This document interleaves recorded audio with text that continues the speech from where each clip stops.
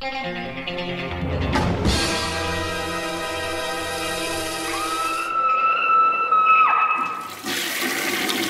guys, what's up? It is week 188, and let you guys know uh, at the 22 shots we recorded episode 200. I'm not going to tell you what it is. It was a surprise. Um, it was so it was like a nine hour recording. We started at 7:30 and we didn't get done till five in the morning. It was crazy.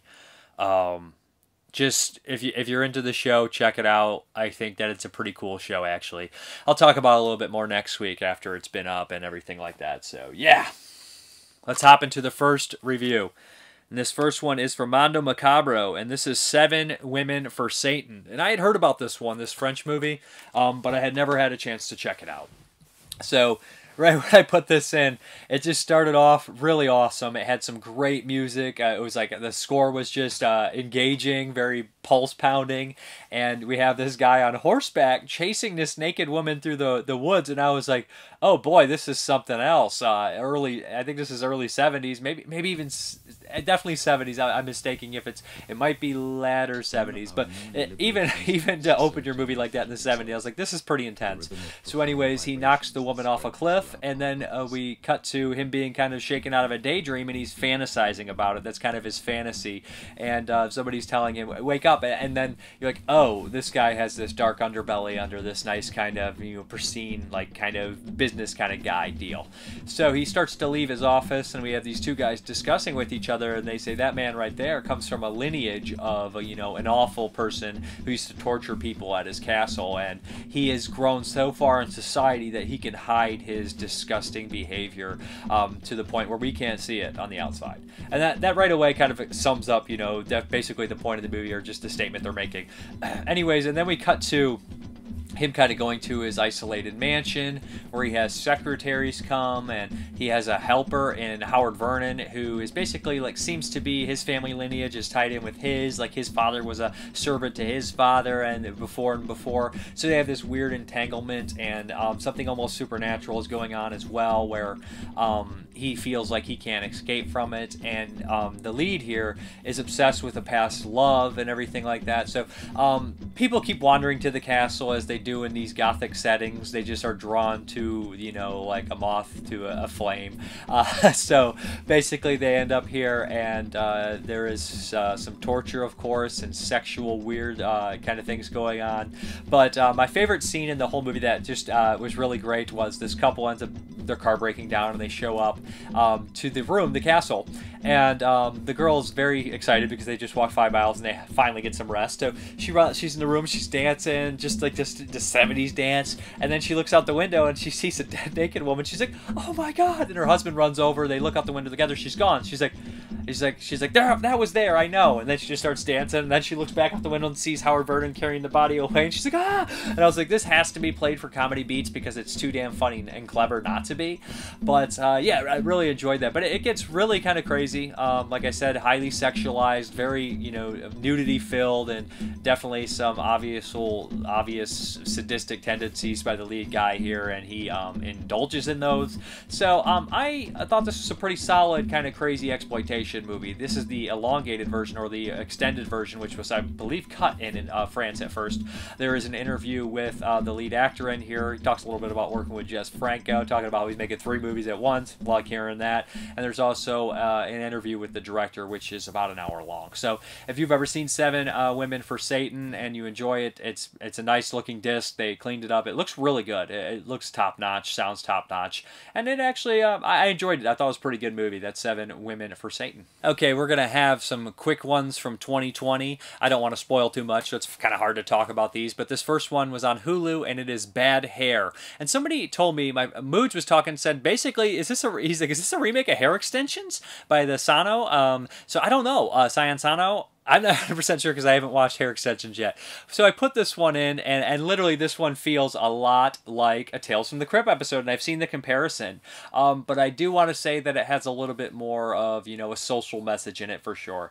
Uh, this takes place in the 70s, and it's kind of when like they were doing like the uh, hair extensions. They were doing it more. I don't know shit about hair, okay, uh, especially women's hair. So like I, I don't know the details about beauty tips and stuff like that when they were you know originated and when they became popular. But this is definitely making a statement um, on on a lot of that stuff and obviously the African American stuff with it in there too. So we have this woman who is kind of like an assistant to somebody who runs this network that focuses on black entertainment. They have segments and everything like that. I don't know if it's a, a news station or a, a, I think it's a video kind of show deal. So they um, kind of focus on a lot of black oriented stuff.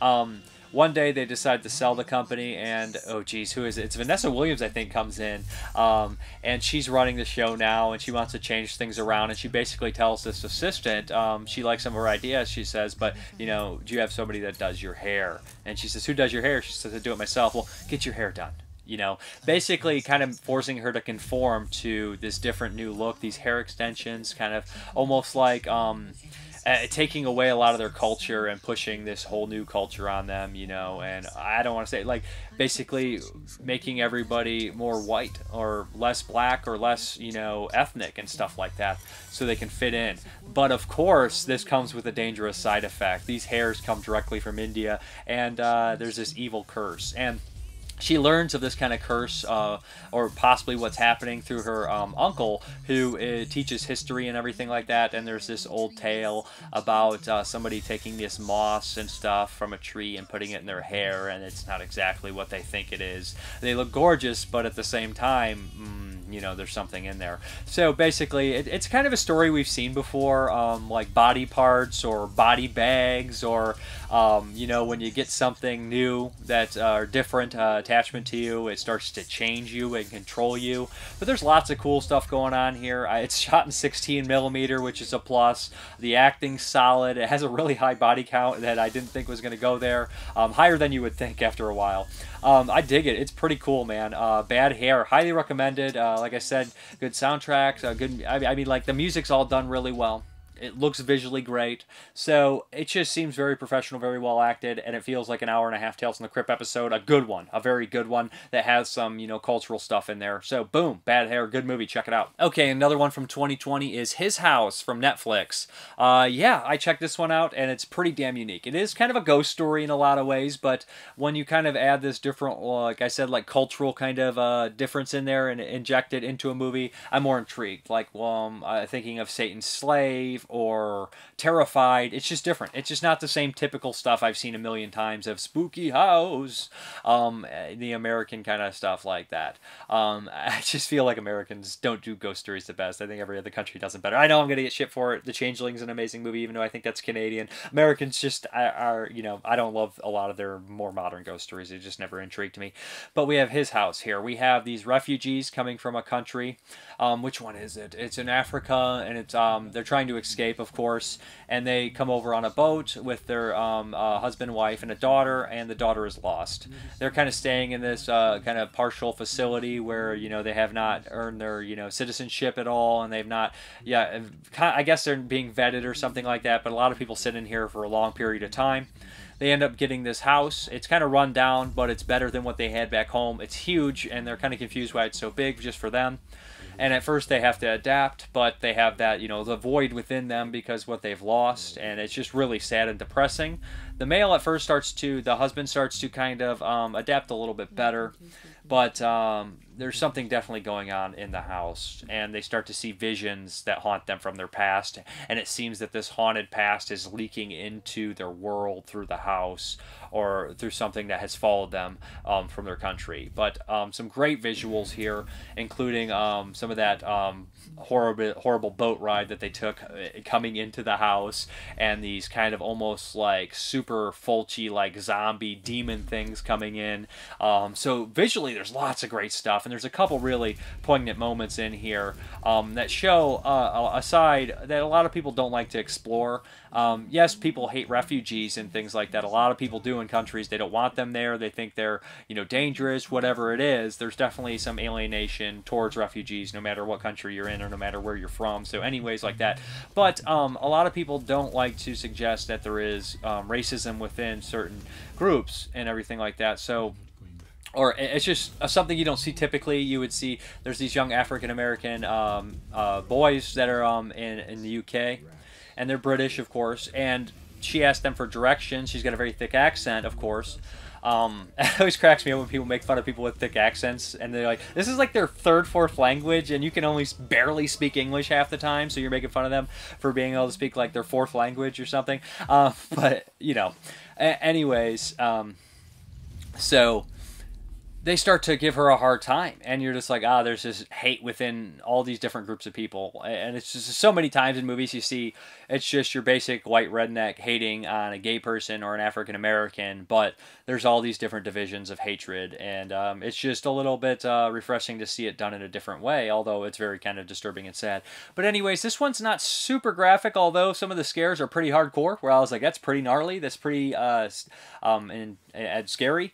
Um, but uh, there is a, reveal here that is pretty gut wrenching. Um, and I think it's just like, oh, wow, that's pretty rough. Anyways, really like this one. Good movie. His House. Highly recommended. Um, check it out for sure. I, I, think most people will like it. And I like that there's all these holes in the walls in the house because that's a great place to put scares in when you're looking at a hole in the wall. And there's nothing scarier than looking at the freaking wall and all of a sudden there's an eye in a hole in the wall and you're like, that's terrifying to me. Um, I know, I know, obviously people under the stairs, but the canal did that really well. Just like when you kind of stare into a hole in a wall or something, and there's something in there, and it's it's just kind of scary. Okay, the next 2020 is from on a Shudder exclusive here, and this is called Anything for Jackson.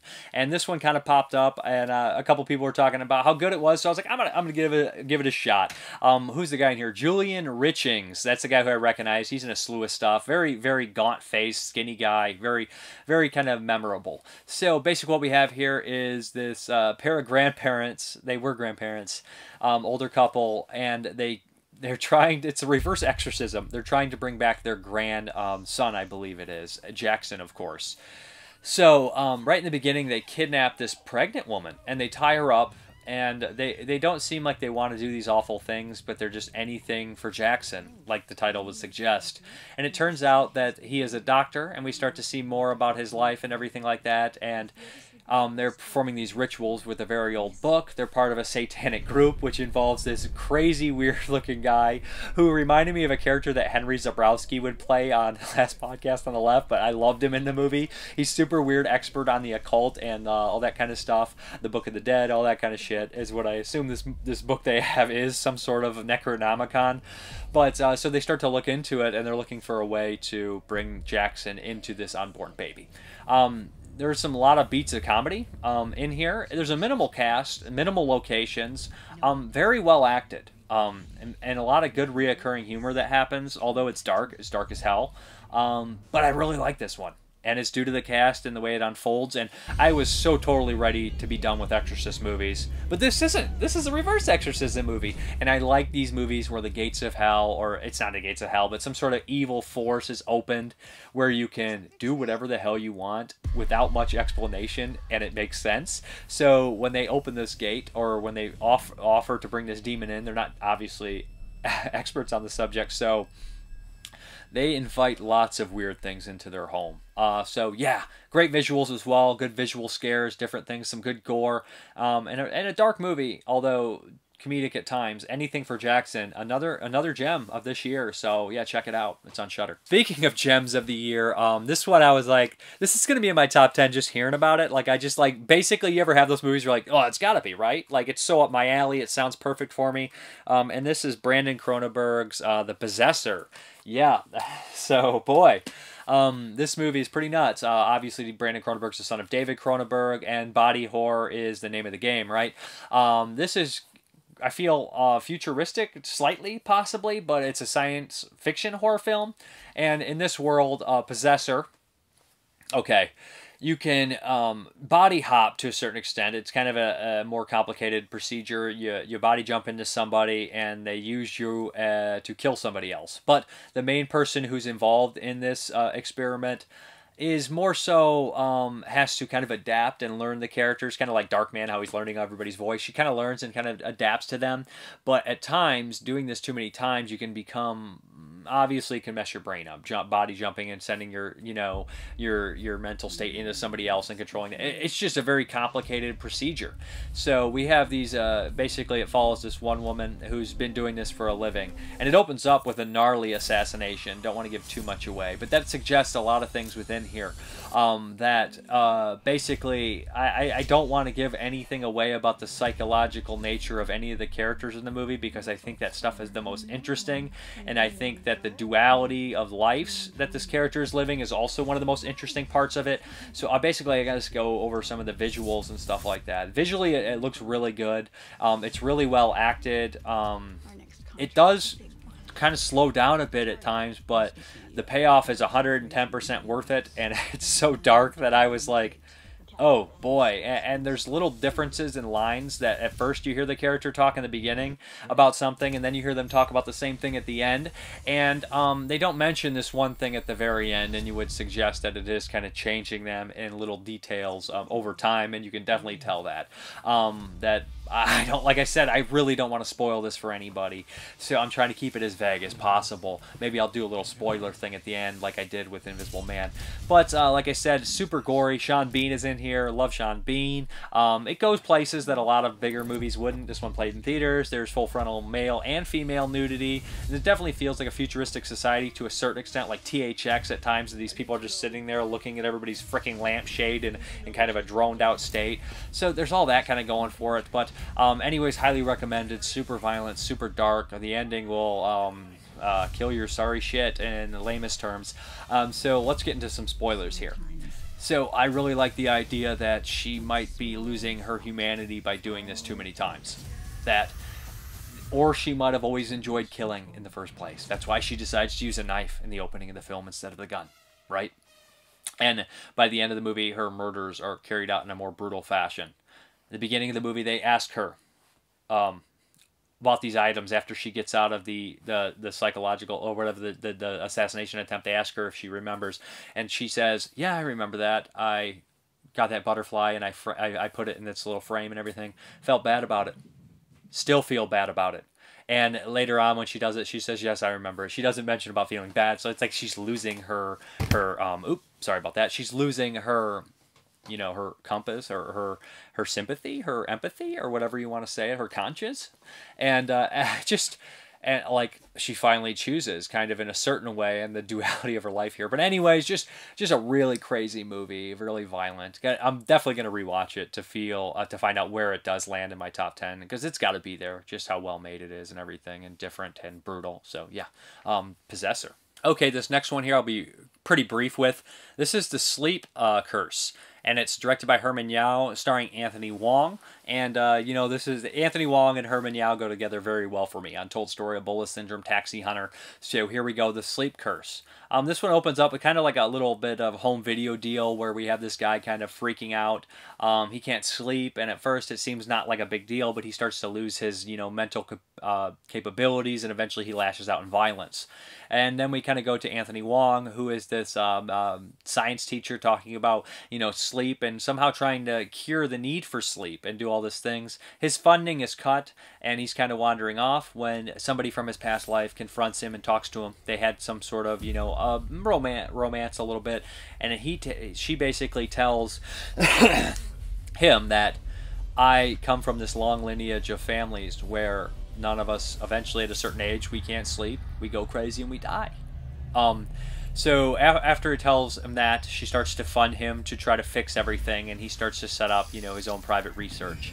Um, then we kind of jump back completely to a different time, and you're like, what's this have to do with anything? We know it's Anthony Wong's ancestor, and we know it's um, Japan kind of being brutal to the Chinese in this time during World War II, and then uh, all these kind of awful things about forced prostitution for young Chinese girls and things, and and then eventually we find out how these two storylines tie together, how these how this curse ties into it, and I don't want to reveal very much, but Wong is great in dual roles as he always is, um, and the movie feels more like uh, you know science kind of drama, but you know it's coming, you know the nastiness is coming, and it does come, and it hits pretty hard. We have a brut- brutal stuff at the very end, and I love how it ties together, how seemingly these characters don't have any correlation, but they really do and the curse ties in together. Really good movie. Really, really kind of a, a nice difference from something like Untold Story or Ebola Syndrome or Taxi Hunter. Just um, well written, nice, nice uh, done script, good stuff. So um, the Sleeping Curse or Sleep Curse, the Sleep Curse. Yeah, good. check it out.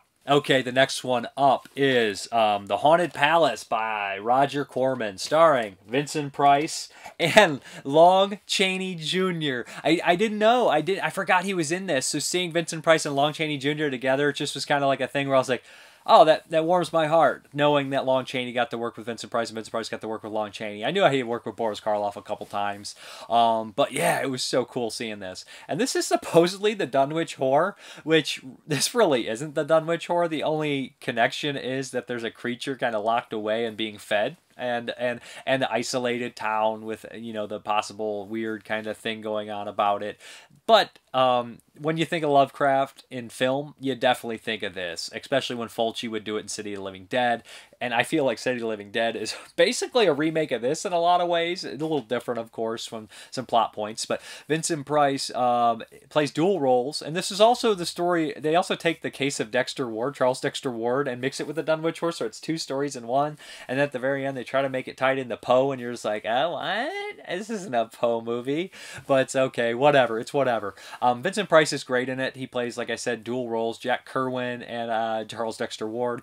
He ends up showing up to um, this old town in the beginning we have like this this uh, group of guys burn um, Vincent Price alive, and he puts a curse on them, similar to Vampire Curse, a Vampire Circus, or Nightmare on Elm Street. You know, um, I will curse you. You know, I'll come back and kill your children's children, that kind of thing. So basically, Vampire Circus or Nightmare on Elm Street.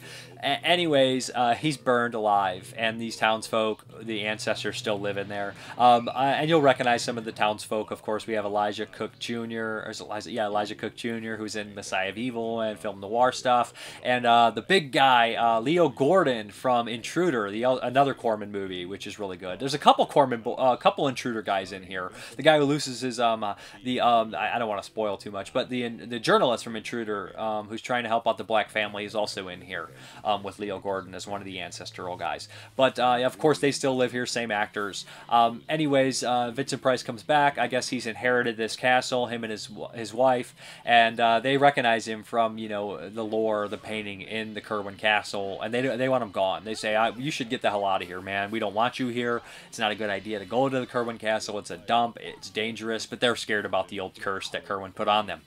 But Charles Dexter Ward drove far. He seems to be a sophisticated rich man, and he says, You know, I drove all the way out here. I'm to look at the freaking castle, at least to sell it. So they go there, and right away he sees a painting of himself basically on the wall. And right in that point afterwards, he is almost possessed by Jack, uh, by, uh, by Curwen. So um, it becomes that Charles Dexter's Ward story, which was later done in The Resurrected by Dan O'Bannon. So uh, yeah, that's pretty much what happens here. He starts to kind of morph, and uh, the old legend says he needs three sorcerers, one of which is Lon Chaney Jr., who's acting as a butler, and the other the other guy I'm not familiar with, but they end up uh, kind of helping him along the way to create chaos. But Jack Curwen needs revenge on the people that um, uh, did him wrong. So he starts to focus on, you know, the people of Dunwich. Um, the atmosphere in this movie is great. The the fog is amazing. The the taverns are great. Um, reminds me of obviously Hammer stuff and later uh, Fulci stuff. Love that superstition. It's my favorite thing. Townsfolk superstition. I love it in horror films. It's one of my favorite things. Like the witches. I, I don't know. Fulci does that really good, and apparently Corman does it really well as as, as well. So I, I love that stuff. I, I love the creature. There's that one amazing shot where um, Leo Gordon's going home and we're outside the window and we see him pass by and then we like see the door unlocked or something in the basement. We see it's all done in one shot through the, the window is really effective. The ending is a little lackluster. That's the only hit on it. It seems like they ran out of money and just tied it up. Um, but anyways, I would really recommend checking this one out. It's really cool. Um, Price is fantastic. Uh, Lon Chaney Jr. is really good too. He's not as um, um, haggard as he would become in like the Al Adamson movies that I've seen him in. But um, he's not, you know, the charming uh, Lawrence Talbot we all love, but he, he's just got a great screen presence, and um, he just seems like a genuinely sweet person every time he's on screen. So I just like watching him. Um, he captivates me. Great guy, I think. I, I, I get that impersonation that he's a great guy, but he's a great actor and a great legend, as is Vincent Price. But um, the acting's really great too, and I like the guy who played the lawyer in Intruder. I can't think of his name. He's really kind of a good character, and he he, he explains the whole story and everything, and gets into detail. He, he mentions Yog Sog Halfat, um, Yog uh, Halfat. Is it Sog Yalfat or whatever the fuck that thing's name is? Who is in the mentioned in the Dunwich Horror? He's the gatekeeper. He pops up and uh, casts a deadly spell.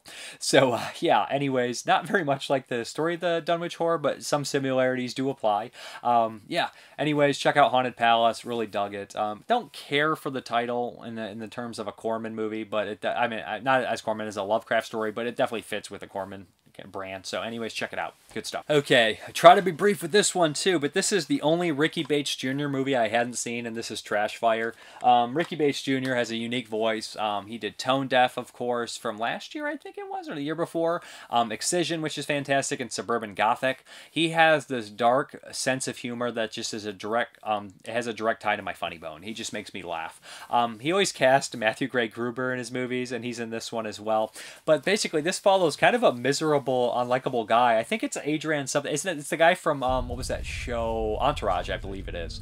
Um, he or sure seems like the guy. I'm not 100. Let me double check. It is. It is him. I had to check.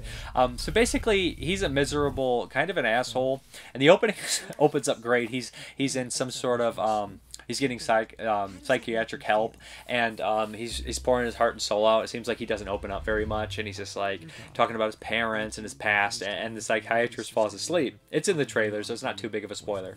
And um, he's like, "You fell asleep," and he starts freaking out on her. She's like, "Yes, how do you feel about that?" It's just like it just cracked me up. But anyways, he's having a lot of problems with his girlfriend, and um, he's just a miserable guy. Like some of the things he says, I was like, oh my god, that's it. That's it's over. This relationship is over. Um, so he has a bad family history. He's kind of written off his family. His parents are dead. He has a grandmother and a sister who burned up in a fire that his parents died in. His girlfriend uh, basically stays with him on one condition: um, you go, kind of, you know, try to patch things up with your family and she goes with him and realizes it was a huge mistake because the sister is burnt and and keeps to herself.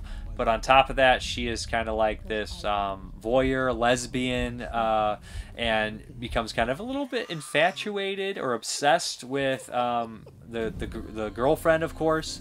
And the mother is just an awful religious nut, um, and it just does not end very well.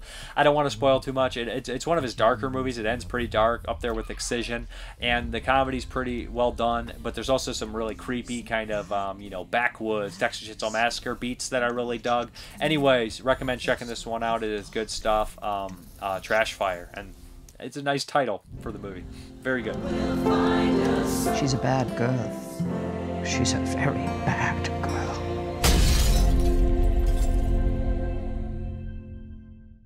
I know what you're going to be thinking, Dave. What are you doing? Reviewing this or talking about this, and it's been a long, long time. I'm gonna be brief with it, but this is William Friedkin's The Exorcist, and I'm just gonna talk briefly about it. It's not gonna be an elaborate thing because um, there's so many people out there that have so much a deeper love for this movie and understanding of it as well. But um, William Friedkin is a very interesting director for me. I, I love Cruising, Rampage, super interesting. The Guardian, good stuff. Bug, good stuff, and then his non-horror stuff or non-horror uh, adjacent stuff is also good too. The, I like the Brinks job, man. So um, the Exorcist, you know, a huge trendsetter for sure. Um, basically made a whole generation twice as religious as they, you know what I mean? Like literally after this movie came out, people were like, "I'm possessed, I'm possessed, oh, you're crazy." Um, sorry, but you know what I mean. A lot of more people thought they were being possessed after this movie came out. But uh, yeah, what can I say about it?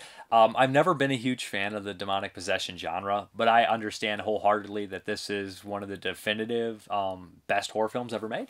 Um, and the acting's tremendous. Um, Jason Miller's really good in this. I love Jason Miller. Max van Sydow. Max von Sydow is great. Um, Linda Blair, of course. Um, and Ellen Burstyn is freaking fantastic too. So, anyways, what we have here is this uh, actress in Ellen Burstyn and she's going to set every day. And then one day her daughter starts to feel mildly ill, takes her, starts to say weird things like the bed shaking and all that kind of thing, takes her to the doctor, and they can't find out what's wrong with her. She starts to kind of slip, become aggressive, curse, all that kind of thing. And before long, she's starting to have some serious um, issues, some of which seem to be demonic so she looks into getting help by all the psychiatrists. No one can help her. They suggest an exorcism, and that's when Jason Miller comes in, uh, uh, uh, kind of a a church psychiatrist who is having a battle with his fate after he lost his mother. Um, he's just a, he's great in it. Um, very interesting character actor. I, I, guess you'd call him a character actor. Would pop up in the fifth, um, the ninth configuration by Blatty. Um, just just a really endearing character. So anyways, what happens is he starts to get involved, and um, there's some crazy things that happen, like the spider walk and some some green puke, and obviously that there's definitely something going on with Regan. The room is always freezing cold, so it leads up to this exorcism. Um, what I really like about this movie is the humanity between characters. Um, there's a couple characters in here. One of the um, Jason Miller's friend. He's a he's a priest in here. One of his good friends. Um, I, I'm going to spoil this a bit, but the end of that movie, what happens to Miller and how he's laying on those steps and he, he, he runs up to him and he gives him his um, last confession or he gives him his last rites or whatever, um, anything he wants to absolve him of his sins before he. It's just like, wow, that's really good stuff, man. That's really good character moments there. And of course, it ties directly in when he meets the cop and it leads right into Exorcist 3, which is a really cool movie. But I, I just like those little beats like that, you know? Like, that's the stuff that makes the movie for me, really. Like any movie, especially a, I know it's not uh, William Friedkin as good as a horror movie, but any horror movie that can cause you to feel that way. You know what I mean? Because that's really the power in there, right? It's it's the character stuff. Like, you, there's lots of great horror movies. Like you'll just watch all day, super fun stuff. Like oh, I love watching the Friday Thirteenth movies, but never once are you like directly tied in with a character to the point where you really, really, really care about their fate and their well-being and their soul their soul, you know? So that that's a really great scene, and I can't say enough about that.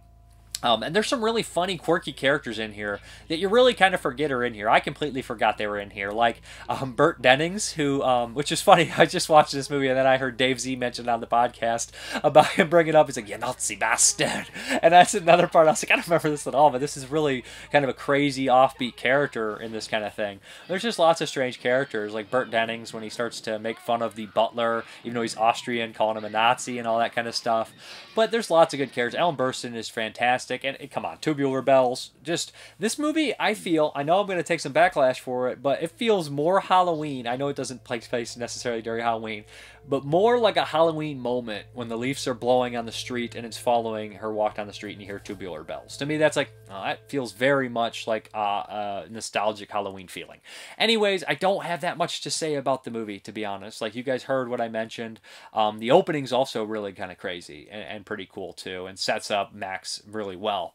But um, great film. Um, not a personal favorite, but an undeniable classic that is just fantastic. And it's probably because the ripoffs of it um, are just a lot of them don't do much for me. Now I love stuff like Demons, of course, it's one of my all-time favorites, or Evilspeak. I like when they get wonky and crazy with it, but I've never ever seen the point to make a movie of another person tied in a bed screaming unless it's The Exorcist because it does it so well here. Exorcism of Emily Rose has an interesting take on the subject because it has a courtroom drama and it, it kind of semi based on a real story, as this one is too. But um, the lines in here too, very very memorable lines. Great day for an exorcism, kind of shit like that, and it goes places that you would never think they would go with the cross, the crucifix. I'm just like, whoa, whoa, man, come on! Like you're surprised it goes there. Even today, I think in a mainstream well-made movie that would that would make some jaws drop. So, anyways, Exorcist, um, classic, right? Uh, what can I say? And now here we go for the Survive 05. And we have uh, also the Patreon pick by Jonathan Woolham. And this is Venom. This is a 2005 slasher movie. It's very 2005, if you know what I mean. I've covered a couple of the slashers from this year in 2001, or 2000 Maniacs. Is it 2001 Maniacs? And of course, um, House of Wax both of which are enjoyable. And Venom is no different. This is a rewatch for me. I've not seen it in a very long time. And immediately I would think that 2005 would have a lot of crummy slashers, and I'm sure it does, but I, have not seen any of the crummy slashers just yet. So, Venom, uh, this one opens up pretty cool. We have this. Uh, this it has some more character development on some of the kids. But the, the real cool moment is we have this uh, guy named Ray who's a wrecker, and uh, he's driving. He's got a scar. He ends up stopping on the side of the road to um, see if uh, a, a, woman that works at the local restaurant is okay. Um, a young girl, one of the main characters in the movie, and they're talking. Um, she's talking with her boyfriend and um, they're kind of blocking the bridge. This is they're on a bridge, and this other woman's driving through. In the back seat, she has a suitcase with something strange in it. She crashes, doing all the commotion ahead, and she's hanging on side of the, the over the bridge and uh, Ray goes to save her. They pull her out, but he goes back for the suitcase because she mentions it. Turns out what's in that suitcase is a bunch of snakes that were used in ceremonies to drain evil out of people in a voodoo ceremony. These snakes bite Ray. Ray and the snakes go overboard. They drown.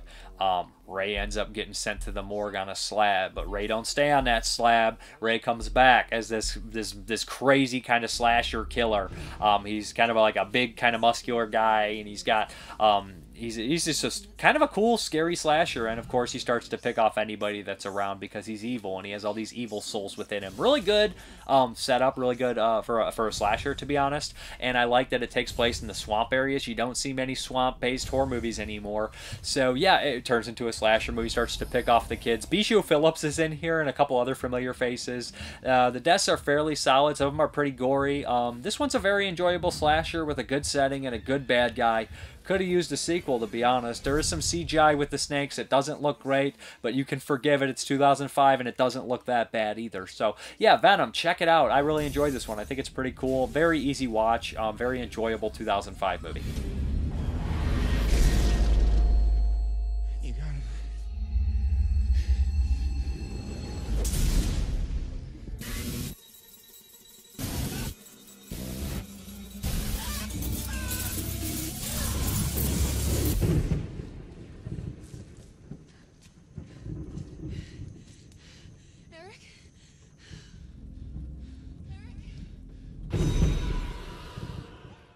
Okay, we're gonna cover Rear Window, and there's nothing we're gonna say about Rear Window that probably hasn't already been said by 99% people, you know what I mean, in the world. So Yeah. everybody's seen it. I had not seen it, which is crazy because I've seen 4,000 movies that ripped it off, and I knew the plot to Rear Window a million frickin' times. But yeah, this is uh, one of the most classic films ever made. Stars Jimmy Stewart, Grace Kelly, um, Raymond fucking Burr. Yes. yeah. So um, this movie's great. This is such a good movie. Such it's so well acted. I like Jimmy Stewart. He's just a star. Like I said, I don't. It's so weird. Back in the old movie stars like John Wayne and Jimmy Stewart, like you can just see why people became obsessed with old Hollywood and all the old stars even before that because they have their screen present is like his presence is unmatched. Like there's nobody like this guy, and yeah, it's just Jimmy Stewart, but he's so good. Like they actually like cultivated their like how they were seen to the public. It, it was just such a more complicated thing. Um, anyways, uh, Jimmy Stewart's character is um, what is his name? Something Jeffries. He basically is a journalist, photographer, um, and he gets a broken leg. He's sitting in the apartment, which is probably it has to be like a, set, the way it's built and everything, or at least I built for the movie. It's super elaborate, super excellent. The backdrops are gorgeous. This movie, Mm-hmm. and it's funny that I I was just complaining about something like um.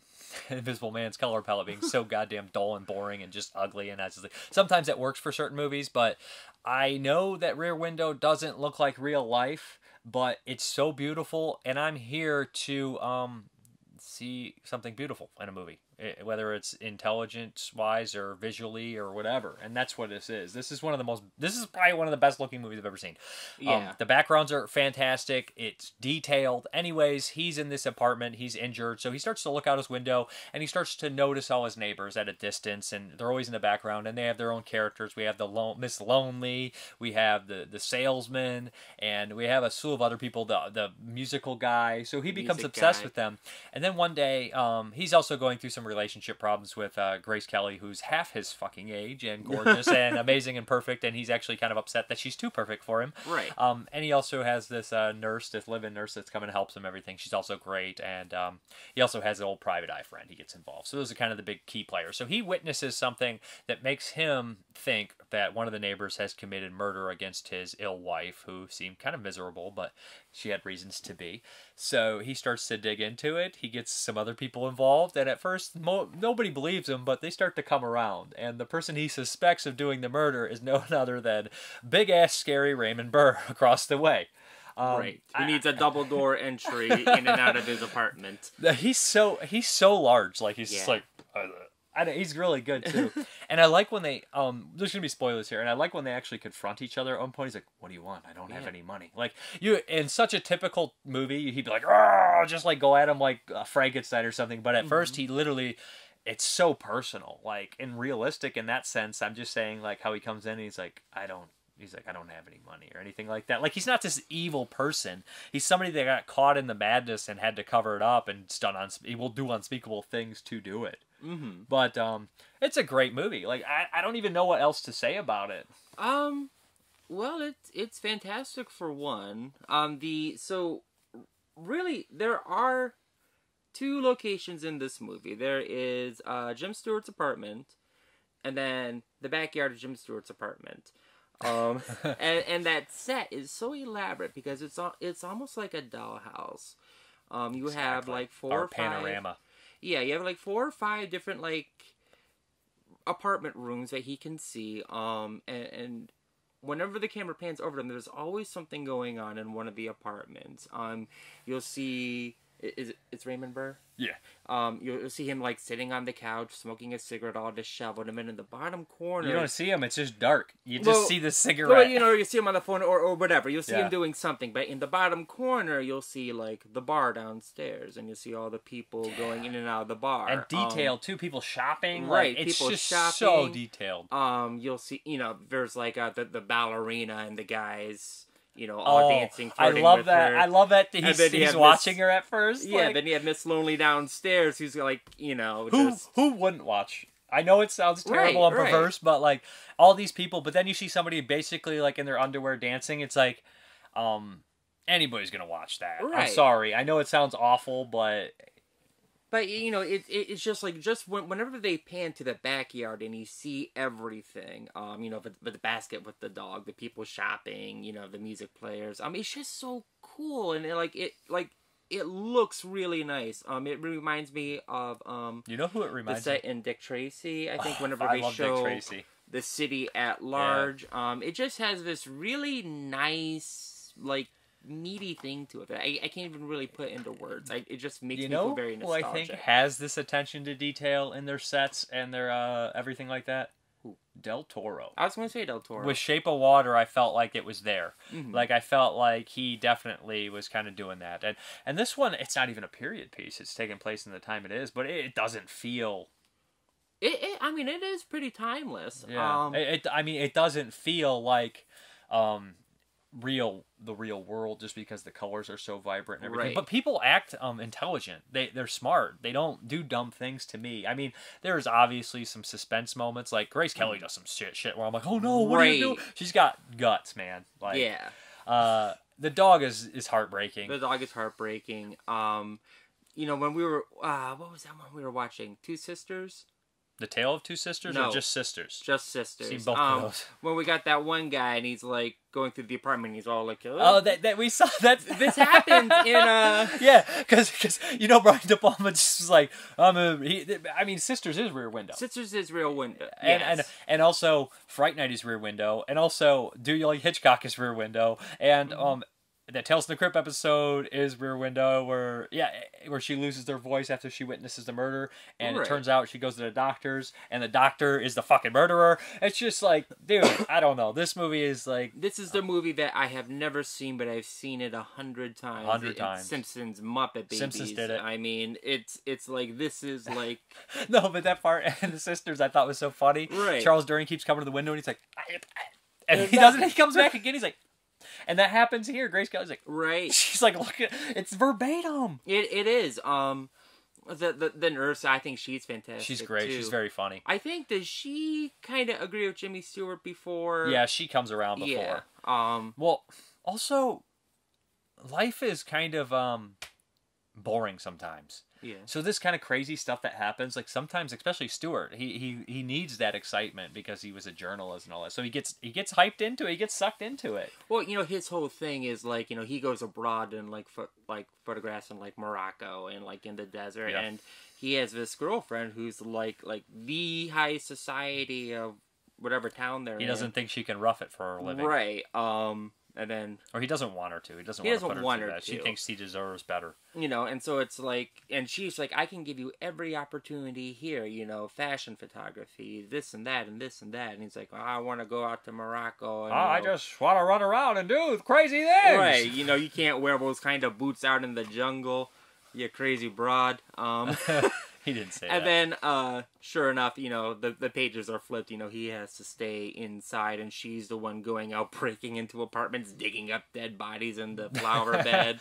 um, I doubt he wants that much adventure after this movie. To be honest. Right, and then um, you know, it ends the way it ends. But I think you should check out some other Jimmy Stewart stuff. You know, I'm not an expert or anything. I've seen like Miracle in 34. I think everybody's seen that movie, right, on television. is that the Santa Claus one? It's not a Santa, but you know, it's a Christmas movie. I saw the Santa Claus one with I think Richard Attenborough. I think that is. Um, no, I sorry, that is Miracle on 34th Street. I'm thinking It's a Wonderful Life. My, Oh, I've my- never my seen apologies It's a for that. Wonderful Life. Yeah, um, but the one that's really is something is the man who shot Liberty Valance, and like I think that you knowing John Wayne and Jimmy Stewart uh, to watch that movie, I think would be really um, great for you. I mean, it's so cool, and it just like it plays on their character types really well, but also is completely. I, I mean, it's like objectively possibly the best western I've ever seen. Is that the one? I think I did It's, watch it's black and white. that one. It Yeah. it starts off with the funeral, right? Yeah, Is that yeah, the yeah, one? yeah. And then you know they go back and they tell the story, and then they forward back to the present Yep, yep, day, and great. they're like, "Oh, we got cars now," or you know what it means. He's like famous and he's got to go back.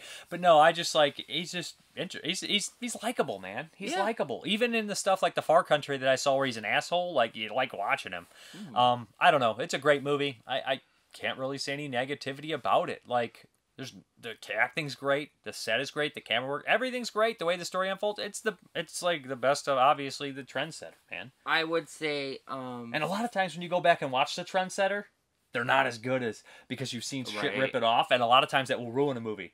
Does not do anything to this. Does not hurt this at all. I, I know I wasn't here for your um Invisible Man movie review. Okay. Um, you know, I wasn't a big fan, and it, it's because it was just like a hour and a half of gaslighting, and you, as the audience, you know, it's like, well, if he's invisible, it's called the Invisible Man. Yeah. Um, and I, I, I think my big complaint with that movie was like they really needed a character to believe the wife, to believe that. Or somebody. To- to side or to, just her. to look into it for a second. Um, and so when you're watching this movie, they do eventually. They do. because he provides enough evidence. Like she was. I think it- so. it- the evidence is shaky. He's like, like, well, she was sick. Where is she now? You know, like the, her purse is there. y- You know, like, but like the you know, what but- kind but- of woman lays your wedding ring behind? right? But those characters, I mean, you know, they- they're like, yeah, yeah, you know, you're right, and and I think it adds because as the audience, you don't know what happened. No. Um, you know, we don't know that the man's invisible. I know he's bad. You know why? Because it's Raymond Burr.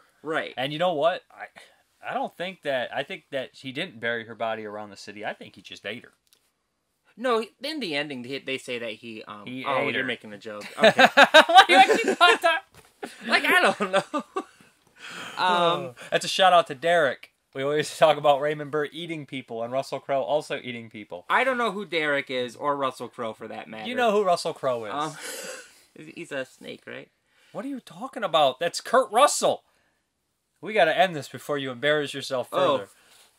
I yeah, I don't know Kurt Russell or Russell Crowe. I confuse them like. stop it. No, it's true. I don't know. Russell Crowe is which. Gladiator and Javert. I've never seen Kurt seen Russell is Snake and in the and in And the uh, and Snake. Tombstone. Oh, and he's in uh, Guardians of the Galactica. Gar- Guardians of the Yeah, Galaxy he 2. plays Okay, Ergo, okay, this has nothing to do with it. Okay, yeah. Um. Oh, now I got distracted. I forgot. Were Oh yeah. about- So so yeah, I think it really helps when when a character sides with the main Yeah. character when they're trying to unravel a mystery. Just because it's like we know, we know. Even as the artist, we don't know that he killed her, but um, you know, I think it just there's just better interaction between char- characters and just like, oh, you're crazy. We're going to put you in an insane asylum again. It's like I don't want to watch that. But anyways, um, Rear Window. Uh, again, maybe a five out of five. Five out of five. I can't. why You not? can't do that. Yeah. So, Yeah. The Um, end. yep, I'm done. Is there any other movies we're reviewing? No, reviewing? I don't think so. Oh, thank God. All right, that's enough for me. I'll We're see you done. next week. This is the scene of the crime. A crime of passion, filmed in a way you have never seen before, and as no one else would dare attempt. But the screen's master of suspense, the producer director who shocked the world with Psycho.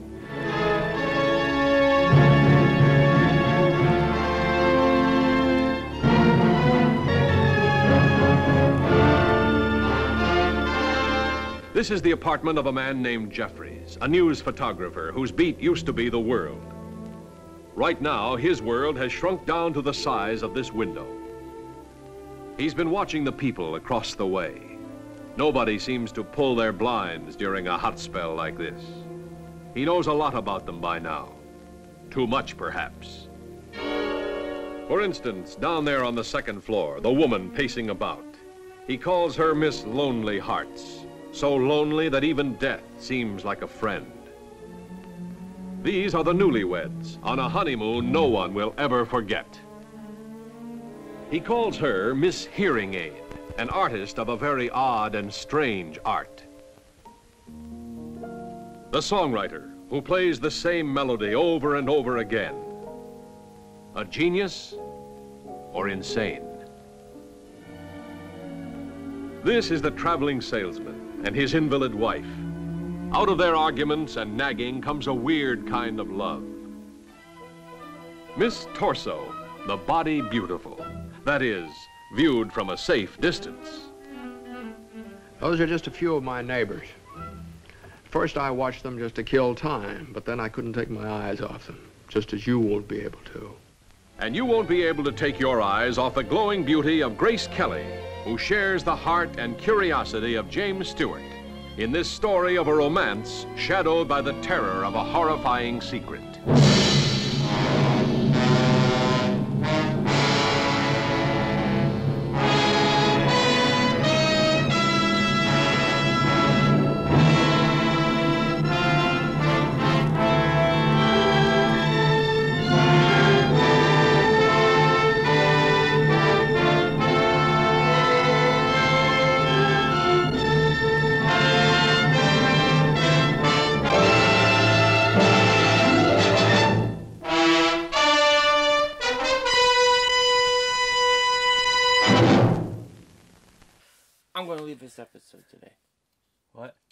Lead this show today because I got more to say. Hey guys, welcome to Blindspot Okay. here. We're going to discuss um Peter Fritz Lang. Thanks, these you, you threw me off. Um, Fritz Lang's M from 1930 1931, starring Peter Lorre, of course. and yesterday was it last week where you were like, "M's a silent movie. I don't want. It's not silent." I- I thought and then for was some reason. I just rolled with it because I was like, "Oh, is it silent? I think it is." silent. Everybody's making fun of us. Like, it's not silent. Everybody's outraged. Yeah. That's why it's blind spot because these are first time watches, and I don't know why we thought it was silent. I don't know why Oh, because well, Metropolis is. I right. think that's This is probably the third Fritz Lang movie I've seen, two of which have been silent. So I So just there we go. assumed Okay. that um it was before Well, I sound mean, was invented. What we come up with at Fritz Lang usually you said wants to have two sides come together for one final act kind of deal. Yeah, a lot of his movies are two sides kind of reaching a conclusion or, or, or a compromise, I guess I should say. Um, again, I've only seen two. I've seen Metropolis, which is like the And the Nibelungen. and and Nibelungen. Um, in the in Metropolis, it's like the workers versus like the rich people.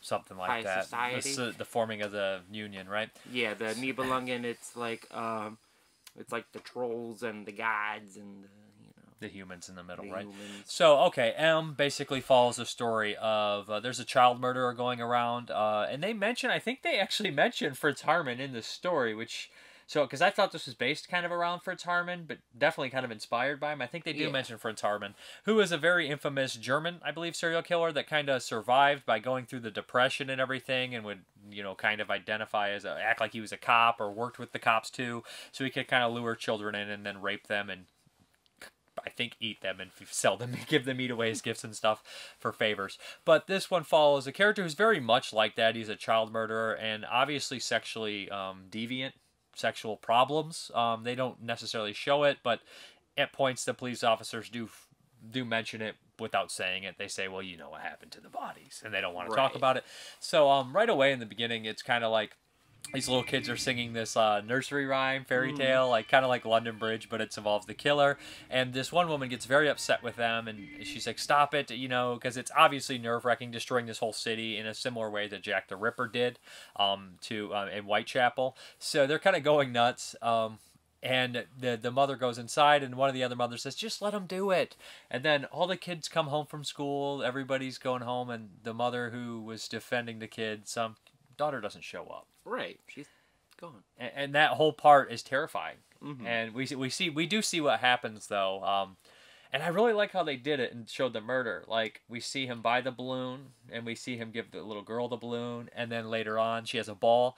And instead of a elaborate murder, we see the ball roll away and the balloon go up to the sky. And you're like, oh, that is also symbolic and great, but it also let me know exactly what happened. So you really don't need the gore or nastiness, and especially in a movie like this, it Right. never got away with it anyways. Yeah, I'd say that th- this movie it really follows more like the police procedural side Well, of things. Um, Follows two, three different sides. it, the it yeah, the Well, parent, the victims of the parents, the victims, the parents, um, the the, the police, the and the police criminals. and the criminals.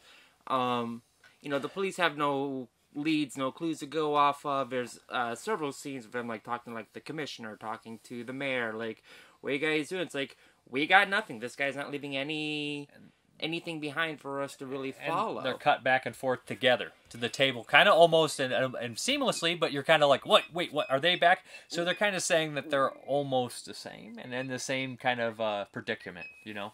Well, what ends up happening is the the police's answer at first is just, well, let's just go to the seedy underbelly, arrest everyone there, and see what happens.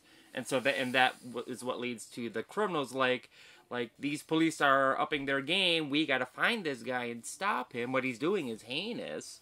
Um, the police are interfering in our in, source Yep. of income, and, and that's when we get the scene of like the the two sides. The the, the police are like, "This is what we're going to do. This is how we're going to fix it." Then it'll like immediately cut like mid conversation to the criminals, and they're doing the exact same thing. Like like this is our plan. Yep. This is you know this is what we know so far. And you know we're going to set up this elaborate system, and the movie kind of follows for about thirty minutes after this scene of just you don't it, it just kind of like just shows people going through motions um Uh, I do like um the portrayal of Peter Lorre, and I, it is a police Right. procedural, and it's way ahead of its time, and I love that. Um, Peter Lorre is fantastic in it. And the end comes to a giant kind of um oh the, the criminals in this movie are straight out of a Victor Hugo novel. Like Oh, the yeah. Hunchback, and it spends a lot of time on them. They all have elaborate characters. There's this really big kind of I don't want to say set piece, but scene where they're in this uh, kind of abandoned, oh not abandoned, but closed down building after dark, a bank, and all the criminals are trying to find Peter Lorre. That's a really well done scene. Um, and this one's not super long like you would think with the uh, Fritz Lang movie. You're not going to sit there for three and a half hours. It's it's under two, which is Right. kind of cool. Um, the city looks great too, black and white, all that stuff. oh it Um, looks fantastic and the ending is kind of what I want to talk about. It's so funny that this movie came way before Nazi Germany. Not way before. It actually kind of was probably starting to rise. When was the first rise of Hitler that was shot down? Probably in the 30s, right? Hitler did come to power and then he was arrested and then he wrote Mein Kampf, right? Mein Kampf. I believe so And then he got out and that's when he kind of then boom. in the 30s i think it's like like right after world war ii Benny's and Joe in the 20s um and then in the 30s is when he starts really Okay, yeah, but he had a first rise, and then um, so kind of it's, it's strange to me that they have at the end almost there's an argument to spare the killer. right And it's weird to me that um, Nazi Germany didn't spare many people afterwards. It, it's strange how they seem to have almost a moral compass here, in which is more than most people would have for a child murderer, myself included. At that point, um, I probably would have been one of the ones beating him to a bloody pulp there. I, and I know that's completely wrong. It's just he's a child killer. well we don't know that he's a child killer Yes, we do. no we don't who what what evidence do they have against him the confession of a blind man a blind man singles him out That's all it took in Frankenstein. That's all it took. Was was the confession of a blind man, and you know. but as the audience, taken- we do know. as the audience, we we It- infer. We never see. It's kind of We like never see. we've seen the balloon float We away. saw- we- but we never see That's Peter visual Lorre actually commit But- a crime. well, messing with kids is really weird anyway. But it, it's like ten to midnight. Right. See, we're on the side of Bronson only because we know that the guy that he thinks is the killer is the killer. Otherwise, Bronson is a crooked cop. He's doing all these fucked Oh, up right. things. I know he's guilty. Why? He was masturbating. But in 10 to Midnight, we see the killer commit a crime. In this movie, you do not see Peter Lorre commit a crime. We do basically. No, like I you said, s- you see- if if do you think? Hold on. Well, let me finish. Do you think if this movie wasn't made in the 30s, they would have showed him commit the crime, or do you think that's a big point at the end of the movie? I think that's a big point at the end of the movie. okay. Because there is a second character who, um, there, there's a child. He asks the the man what time it is. Yeah, that old man is not the killer. But hold on though. But so mob mentality. the mob him. mentality. They rush this man based off no evidence. It's just a man talking to a child on the street and saying, "Hey, you should get home. Where do you live? I'll walk you home." And the mob swarms him. Now we have Peter Lorre, who does confess in the kangaroo court that he, you know, has a sickness. Sure, but what led up to that kangaroo court occurring in the first place was a blind man saying this man whistled a song. He's the murderer. He is we, the we never actually see the Stop murderer. it, stop I'm, it. I'm just saying. I'm just Hey, saying. it was good enough for the Cenobites and Hellraiser. we heard it from your own lips, Frank. That was enough. We But- had to hear you confess. He confessed. I know, I know. They coursed a confession out of him. Right. But it's a very interesting ending because Lorre gives this giant spiel where he's Oh, just like screaming. And it's not like the other Peter Lorre stuff where I saw where he's like in the film noir as kind of like the heavy, which is really like sinister and cool, or Mm-hmm. like where he's in the Corman stuff where he's like, I'm drunk and hilarious and, and somewhat like charming. This one, he is literally like acting his like heart and soul out, screaming, and it's just like, I believe this guy is a psycho and has problems. But like I said, um, it's not your fault you're sick, but it's 110% your fault um, that you know you're sick and you're not doing anything about it. And that's that's what Marcus Parks always said in the last podcast on the left, and it was like it's so true. He was like, "You're it's not your fault you have the illness, but your illness is your responsibility. And if you know you're sick, then you do not belong in society." And he knew damn well he was sick, and he, knew what he was knew doing, He was sick. and he knew what he was doing. he couldn't control it. But yeah, he, he knew what he was doing though. He pointed at everybody else in that crowd, and he was like, you know, if any of you learned a job, a skill, you know, you wouldn't be cracking safes and and picking pockets. You know, you know what you are, and yet you continue to do what you are. And the whole reason why they have this court is because the increased police presence Doesn't is let them carry doesn't out let them carry out their business. Well, Um, I you know I, I and I think that in the end that's the point of the movie. Like like what is a confession? What you know how can you be so certain of a crime? I think there's a reason why it's a blind man that accuses him. Um, and and then you know. It again. It's two sides. It's the police and, the criminals coming together to, you know, finish one single goal. You know, who's to say what's right or wrong? You know, it, it is up to interpretation. Um, that makes it much more intelligent movie, right? oh, it's it's a fantastic movie. I mean, what does even M stand for? Is it murder? It's the is mark. It, is it mark? Is it masterpiece? Is it the- madness? madness? The thirteenth letter. I mean, what is M? You know, They do mark him with the M, but they mark him Yeah. with the M. They mark the murder with the M in Fritz Lang's masterpiece. in in they mark the murder who suffers from madness in Fritz Lang's masterpiece M. of his thirteenth film. I actually don't know if it's. his no, it's probably film. not. um, okay, so I'm gonna read from you read first because you have Oh, the yeah. biography. Uh, So Taron- mine is the Peter yeah. Lorre biography. It's not in this book, um, but it does have. This is, I think, our my fourth movie seeing Peter Lorre. he died at 60. Oh, he died right after those Corman movies, huh? Yeah, nineteen oh Peter Lorre, nineteen oh four to nineteen sixty four. Um, I adore Peter Lorre, and I, I really do want to see more of him. One of the great movie villains of the 30s and 40s, Lorre, born in Hungary as Laszlo Lowenstein, was a popular stage actor in Berlin when he made his sensational screen debut as the pathetic child murderer in Fritz Lang's M. After working for Alfred Hitchcock in England, Lorre came to the States where he made his Hollywood debut in Mad Love and subsequently became a popular member of the Warner Brothers stock company, often teamed with Sidney Greenstreet in a variety of mysteries and melodramas. In the 60s, a more rotund Peter made a minor comeback in several Roger Corman flicks. Um, I'm going to list his movies. We got M in 1930, Mad Love 35, Stranger on the Third Floor in 40. You'll find out 40, The Face Behind the Mask 41, Invisible Agent 42, The Boogeyman Will Get You 42, The Beast with Five Fingers 46, Tales of Terror 62, The Raven 63, and The Comedy of Terrors 64. Is that the one with um Comedy of Terrors? That's Vincent Price, I believe, as well. with uh the, they do the black cat and the cat. No, no. Tales of Terror is the one you're thinking of. Is that with Peter Lorre and Vincent I think so. Did you mention that one? It maybe wasn't. it's not I didn't there. see it in there. That Okay. that was. That I think that was really the fun. first Peter Lorre one that I had seen. Yeah, that's the anthology one. So I'm going to read from John Stanley's Creature Features, and this is M.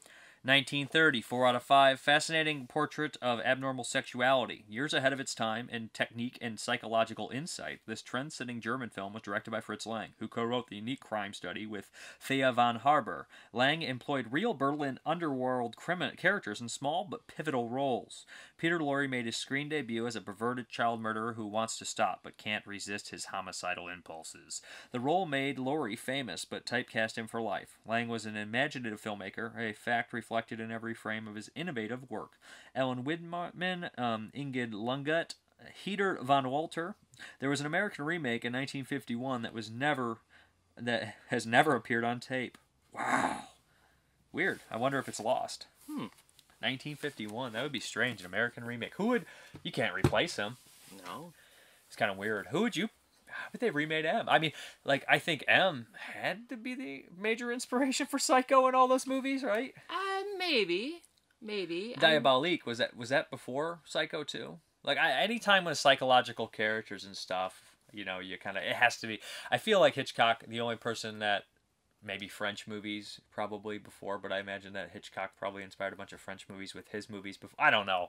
I would say, you know, I, again, I haven't seen that much of Psycho, but um, I don't know if this one is in the same vein as a Psycho. I'm just like- talking about the psychological stuff. Right. Yeah, there's psychological stuff in here, but it it's really at the very, very end, and it's more just Peter Lorre like Hmm. saying, "Don't do this to me." Well, I like. I think it's super interesting that it definitely reflects the Jack the Ripper case with him writing to the police and stuff. Yeah, and, the Jack like, the Ripper. Maybe he wants to be caught because he has some sense of guilt, but also it's an ego trip too. That's just that's a complicated fucking mess with those kind of people, and it's just like they always try to like.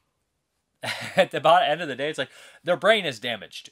Like Right. it doesn't work the same way as it should. So like when you think that doesn't make logical sense, no, it doesn't. Like they are not acting logically. They have a rhythm and a rhyme to their insanity, but it doesn't mean that. It doesn't translate into the real world. I feel. so. Um, next week I think is Master of the World. We'll pick that one back up. It, it's your pick, Vincent Price. I think Charles Bronson too. So that's Mm. Is a he really? I think he is in it, and that's the second one they were in together after Yeah. House of Wax from 54, 53, um, which is a really cool movie. So yeah, you good? Yeah, oh, we didn't rate it. Oh yeah.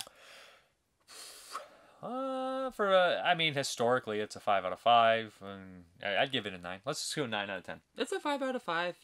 I mean, I I enjoyed every moment of it. Um, you know, I, I was delighted to see that it wasn't going to be silent because I, as much as I love Nibelungen and um, Metropolis, I, I, I was not going to be able to tolerate sitting through a three-hour silent film. It's only again. two, and, and silent movies.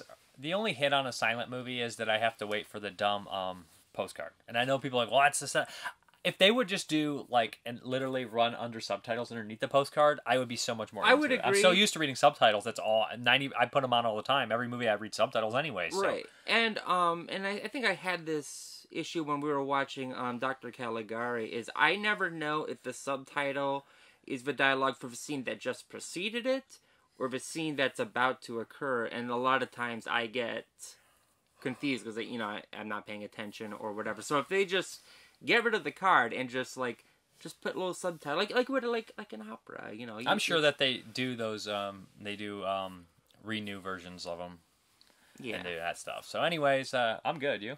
Yeah, I guess I don't, I don't care. Okay, guys, let's get into these questions. Nick Mua.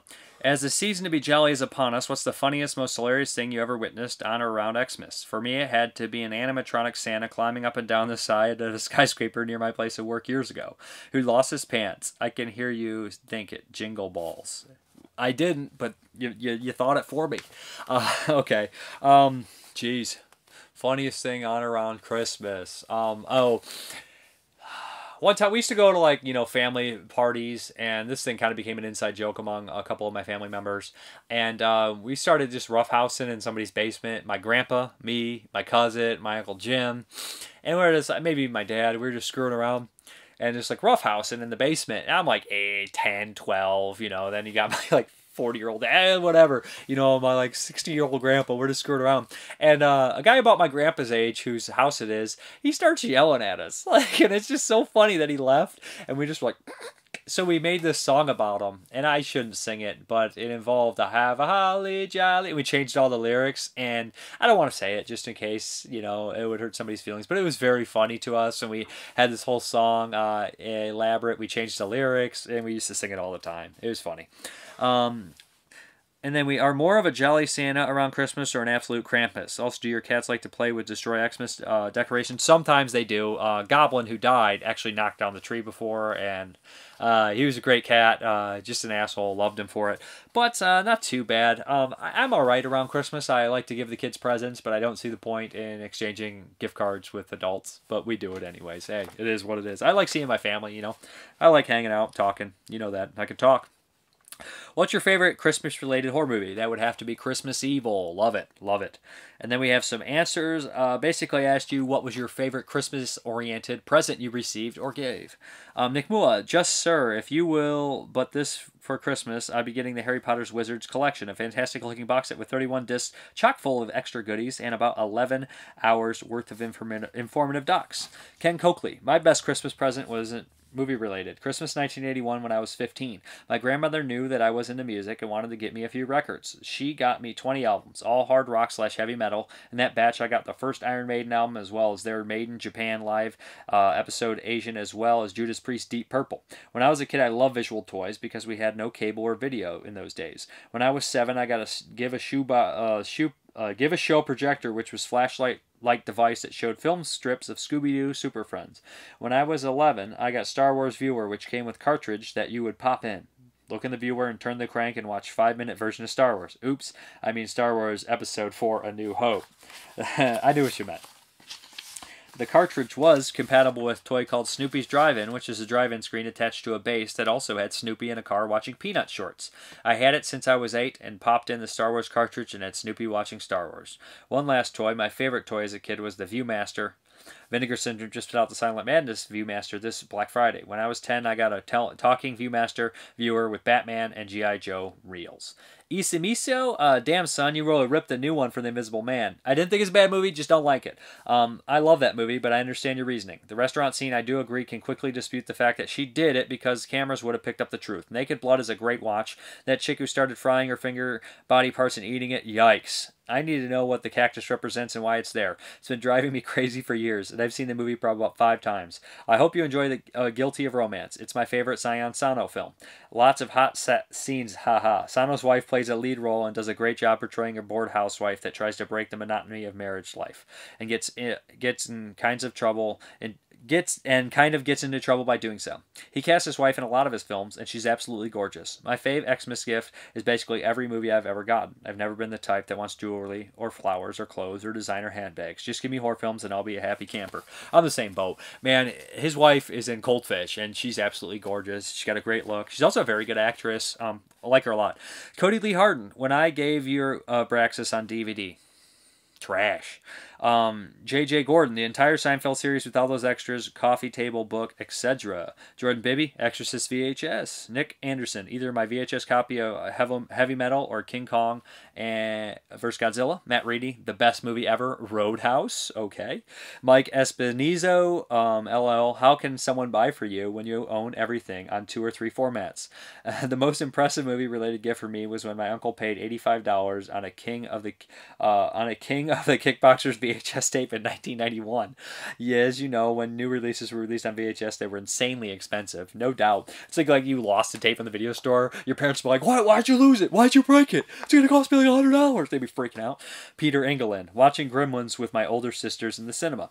Matthew Hudson received. Back when I was 10 or 11, I got the Indiana Jones trilogy box set on VHS. Perhaps it was the age I was or the fact that it was the first box that I had, but I love that thing.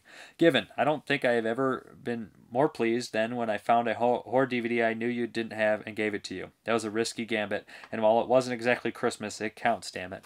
Comments 81 Oak Ridge. With The Invisible Man, I have the 4K too, and it's way too dark. I actually liked it, but I didn't like how dark the movie was in general. I agree, man. That 4K, pitch black. Uh, Floyd75 Dylan. I agree with you on the murder in the restaurant. Not only on the security footage, but CSI and detectives know how murders are committed and would have known instantly how implausible it would have been for that woman to have committed that murder. Uh, Kentuckinator. Uh, finally, someone defends the narrative con- inconsistencies in Ghoulies 3 against the snooty fart uh, fans of the Invisible Man. Like I said, it's a tough job, but somebody's got to do it. Um, Ricky Riley, yes, you're finally catching Franco fever, and I will tell you, it is syphilis. yeah. Um, Milo169. I really hope that Invisible Man would be one of the better movies of the year. I liked it, but it was kind of disappointing. Also, M is not a silent movie, is it? No, I'm an idiot. Hey. Um, Jason Bovey. The blind spot segment continues to amaze me, given the gargantuan size of your movie collection as well as your cinematic taste. The Last Man on Earth, wow, I would have never guessed you hadn't seen that one until now. I know, right? Um, but also, people, I've never heard anyone say it was great. I just heard it brought up and then never spoken of. Jason Bovey, hey, I just finished listening to the greatly entertaining Ruggero Deodato podcast. Although I'm against animal cruelty regardless of the circumstances, I was in disbelief that the other two commentators thought that the butchering of a harmless turtle was less cruel than the killing of a reptilian predator like a crocodile. Right? I did start laughing when one of the guys said the crocodile reminded him of a dog. What? Oh well, to each their own, I guess. I think his size, how he moves, but still, I understand. I I, don't understand why they picked the crocodile over the the turtle. To me, it's just like I've seen turtles killed in real life. A snapping turtle, a bit different than the sea turtle, still very unpleasant. I remember we were doing, me and my brother were doing concrete work. Um, my dad used to run his own business. Um, and uh, my brother was like, "Turtle's pretty cool, right?" Until that guy killed it, and I was like, "Yeah, uh, Ken Coakley, John Wayne worked with Bruce Dern in War Wagon as well. This uh, Dern's role in the Cowboys was controversial because the movie was based on a book, and it was publicly known that Bruce Dern was going to kill John Wayne in the movie. One day, Wayne joked with Dern, saying, You know, Dern, you're going to be the most hated man in America. Dern replied, But I'll be a hero in Berkeley. Dern was also in Hang 'em High with Clint Eastwood as well as Silent Running, which you reviewed and was the inspiration for Mystery Science Theater 3000. The original MST3K uh, premise was supposed to be inspired by the Omega Man, with Joel running a projector like Charlton Heston did when he watched Woodstock in the abandoned theater. Very cool. Um, yeah, I, I heard that story about Bruce Dern. Tell it. I love that. That's a, such a great story with John Wayne and Dern. Um, Warren and Tia's box. Mr. Parka, your friend in the midpoint, looks like he lives in the street, and the novelty of his washed hair for the show is just too bewildering, etc. It's like who, what, why, where. Does his battery get recharged especially for the show? Do you actually know him? Does he know you? Etc. Etc. Okay, let me say this. Jeremy works third shift, I work first. So when we have to find a time to record, one of us is going to be freaking really tired or had just gotten up. So that's kind of what's going on with that. So you know what I mean? That that's what's going on. Jamie uh, Flyer, I watched Deadly Games uh, last weekend. I thought it was super good, but also really intense. The actor playing the psychotic Santa Claus was playing a really great villain. It was great playing the villain. Yes, he was. And sometimes you wonder, as they just like go to the insane asylum, like, hey, can we let this guy out for the day? Um, his uncle was going to take him out and get him some food, and they're like, then they just film with him. Uh, Bobby D71, The Painted Bird is fantastic. It's the only movie that comes uh, came anywhere near Parasite for Best Movie of the Year for me. And I think, do we have any more pages? I think that's all we got. So, question of the week. What is the best home uh, video release of the year? Is it the Dawn of the Dead Second Sight 4K? Is it the uh, Shinya uh, Tsukamoto uh, box set? Is it the Forgotten Gialli Volume 2? Is it Beastmaster? Let me know. What is the best release of the year? I know it's only December something, but let me know. Um, and anyways, we're going to hop into this update. Okay, let's hop into this bad boy. First, let's start with the 4Ks. Had to get Total Recall. I mean, this is one of my all time favorite movies. Arnold Schwarzenegger, amazing. Um, Paul Verhoeven, come on. Michael Ironside, Ronny Cox, get your ass to Mars. Hey, Benny, screw you. One, I love it. I love it.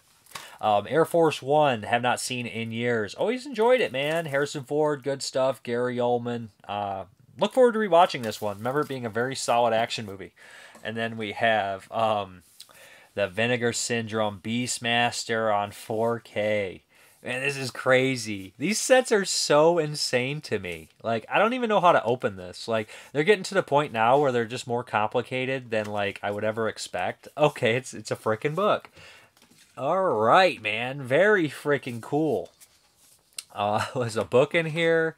Then we have the disc. Yeah, man. 4K A Beastmaster by Don Coscarelli. It's a movie that I only ever saw on television, and I don't even know if I saw the whole thing. It just was uh, just always on. So uh, yeah, that that's crazy, man. Talk about an elaborate, awesome freaking set, right? Cool, cool. Awesome. Then we have, of course, some Blu-rays for Vinegar Syndrome. We got the Forgotten Gialli uh, Volume 2. Um, the funny thing is, I, I'm so busy lately that I don't even get to look at these. I just get to put the box in my room, open it, make sure everything's there, and set it down. So we got a girl in room 2A, My Dear Killer, The French Sex Murders. Um, I've actually seen The French Sex Murders. That's the one with the Humphrey Bogart impersonator. Um, actually, I remember liking it, though. Girl in Room uh, 2A was a Mondo Macabro release, and I don't think I ever finished it. And then we have um, the French sex murders. Look at look at fake Bogart on there. Another Mondo release. And then we have My Dear Killer, which was a um, shameless release, but also put out by, I want to say, Shriek Show. So, yeah, three upgrades for me uh, on Blu ray. And I'm a sucker for any Euro horror that is old on Blu ray. I will buy it, in case you guys didn't know that. So, all those releasing companies, like, yeah, um, anything. I'll even buy P- Puma Man, okay? I'll buy anything when it comes to that stuff. Then we have Silent Madness, 1980s slasher movie that uh, has just begun. Okay, that's a cool shot, man. I don't know if I've ever seen this one. I don't think I have. I think I have a VHS chill in there. But yeah, he's out now. The Terror's just begun. Silent Madness in 3D. And that was an 83, wasn't it? Uh, to match the other um, fricking, or they got 80, 84 on here. But wasn't 83 the big 3D horror kind of boom with Friday 13th Part 3 and Jaws 3 in 3D? And then we have Dimension, Dimensiones Ocultas, which is Cemetery of Terror, um, I believe. Uh, if I'm not freaking mistaken. Oh, it's Don't Panic, not Cemetery of Terror. They already released that one, but this is Don't Panic. My my bad. Um, this one I have not seen. Um, I have seen Cemetery of Terror. Will like it quite a bit. Um, at least in terms of style. I heard this movie is bonkers. So uh, yeah, I know this one did some screenings. So look forward to checking that out too. If it was up to me, I'd just watch Vinegar Syndrome titles for the next month. Then we got Fade to Black. Oh man, this is a really cool movie. It's been a long time since I've seen it. I, probably on DVD, probably VHS, maybe. Um, people used to laugh at Eric Binford. Now, with every performance, he knocks him dead. Yeah, uh, cool movie. Cool movie. Dennis Christopher. I remember Mickey Rourke has a little tiny role in here, but um, yeah, can't go wrong with Fade to Black. Vinegar Syndrome is the company that is getting it done. So many people are like, we're not getting spookies. We're not getting Fade to Black. We got them. And they're going to get more. And it's going to be amazing. And um, I love that this company started off pretty fairly, fairly small, but now they are just releasing some of the hugest titles that we've wanted. And I know these aren't like the big titles, but they're releasing some really great stuff. Then we have Action USA from uh, as I as I pull up Action USA, they're releasing some really great stuff. This is a VSA, um, fun kind of crappy action movie. I'm sure I've not seen this one, but yeah. Uh, here we go. My the, the irony is not um, lost on me. Okay, and then we have Martial Law. Is that Ronny Cox on there? No, is that David Carradine? I can't tell if that, that's got to be David Carradine. Um, I've not seen this one. And also Martial Law 2 Undercover. So very cool. Um, yeah. Chad McQueen? What? I gotta check if that is. That's gotta be David Carradine on that. That's. Yeah, probably is. Yeah, there he is. And he plays a character named Dalton Rhodes, not to be confused with Dustin or Dusty Rhodes. Right? Uh, there we go. And then we have uh, some Blu rays Lady Snowblood on Criterion. I've seen the first one, it's great. Never never saw the second one, but I'll have to watch it. So yeah, had to grab those. Then we have Rip Your Rips Your Nerves to Shreds, Evil in the Deep. I for some reason thought this was Evil Below. Um, this is from Dark Force. Grab this. They had a sale. But it's not Evil Below. It is uh, Evil in the Deep, which is a movie I'm not familiar with. Then we have Terror Express, which is an Italian uh, flick. I've always wanted to see it. Maybe I'll do a double feature with Night Train Murders and have a double uh, Train Tear. I won't be doing Horror Express because I've covered that one a couple times and I love it, but still. Um, Train Tear, very good. Um, then we have, I mean, as in, I like horror train terror movies. Then we have this one, which I saw my boy Derek post about, and it just looked too cool to pass up. Howl from Beyond the Fog, and I know he's a big fan of it. Um, it looks like all like stop motion, like toy figure. It's I don't know. It just looks like a weird kaiju movie. It looks very very ambitious and really kind of lovely actually. So yeah. Then we have a couple more. Speaking of lovely, right? We have um, Truth or Dare Part 2 Wicked Games.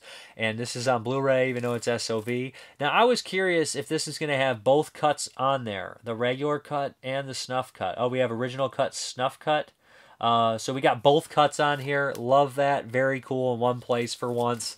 Um, the snuff cut is actually really intense. Kind of surprised me. And then we have part three uh, of Truth or Dare, Screaming for Sanity, Truth or Dare 3. They were 10 bucks a pop. I was not going to uh, pass those on. I'll pass those up because we got my boy in here, um, Joel D. Wynkoop. So, yeah. Then we got some more Blu-rays here. Tokyo Living Dead Idol. Not seen this. Um, looks cool. Here pop songs were her pop songs were always infectious. But now that she's been bitten by a zombie, she's about to set off a global pandemic. Love it. Uh, this looks cool, man. love it. Um, then we have Who's Afraid of Virginia Woolf? Never seen it. I know, right? Um, I need to sit down and watch this and Sunset Boulevard. Um, I, those are two movies I've heard so many things about over the years that I haven't watched. And then we have Two on a Guillotine, another Warner Archive. Yeah, this is a lot of my Black Friday stuff coming in, guys. So if you're like, man, Mr. Park is balling, um, I saved a lot of money for Black Friday this year. So, and I messed up the sound there. I'm sorry. Then we have Mystery of the Wax Museum. Heard about this one for years. Like I said, no bad wax horror films, so yeah, gonna check that one out too. And then we have Performance by Nicolas Roeg, Mick Jagger, and Mick Jagger in Performance. Not seen this one. Um, I believe I've seen the trailer, but yeah, interesting. Nicolas Roeg, I, the stuff I've seen has been good. And then we have Queen of Outer Space, um, sci-fi, looks cool. Zsa Gabor, very cool stuff. A must for all B movie fanatics. And then we have a couple DVDs that I could not pass up. We got the Rika trilogy. These look uh, ridiculous. Exploitation Digital. These this is a used copy. It's been out of print. All three movies are in here. Um, so yeah, like the cover. Like how they did that with them. Yeah, but and last, I'm just gonna show it. Detective Story. Um, Takashi Miike movie. Never seen it uh, picked this one up too. So that is a Tokyo Shock. And I guess we're going back to the video, guys. Okay, guys, thank you very much for watching. And as always, have a good one. Wait, don't you even think about skipping on that soy gravy. Name the movie.